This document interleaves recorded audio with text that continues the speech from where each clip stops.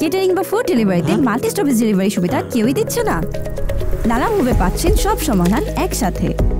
আমাদের আছে motor bike covered van এক টন বা দুই টন ট্রাক সাথে পাচ্ছেন কুপন সহ আকর্ষণীয় ছাড়ে ডেলিভারি সুবিধা। তাই এক অ্যাপ একাধিক ভেহিকেলে ডেলিভারি করুন লালা মুভে